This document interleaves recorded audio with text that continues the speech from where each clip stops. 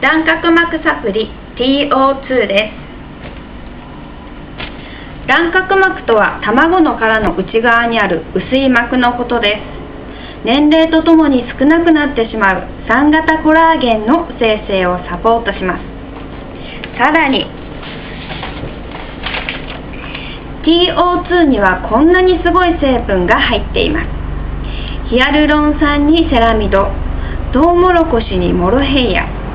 ロイヤルゼリーにカルシウムにビタミン E そしてリコピンにアセロラ。